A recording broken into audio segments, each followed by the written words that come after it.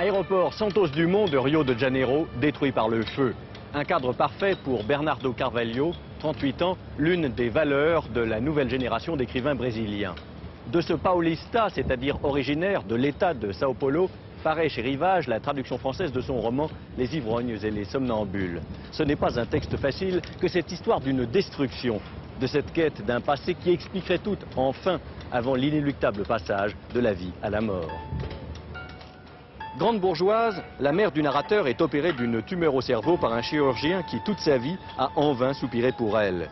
Et comme il existe apparemment dans la famille une prédisposition héréditaire, pourquoi ne pas procéder à un examen sur le fils?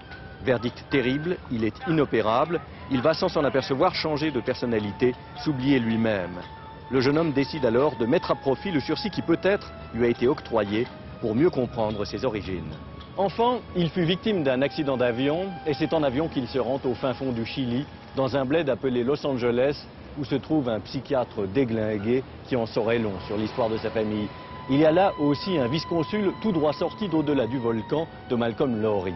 Bernardo Carvalho parvient assez bien à rendre apparent le cheminement insensible de la folie.